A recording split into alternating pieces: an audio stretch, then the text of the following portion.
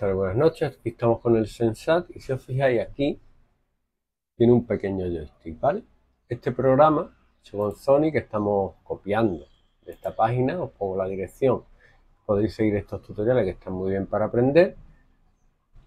de la misma Raspberry, eh, lo que hace es mostrar una letra en la pantalla dependiendo de para dónde dirijamos el joystick, ¿vale?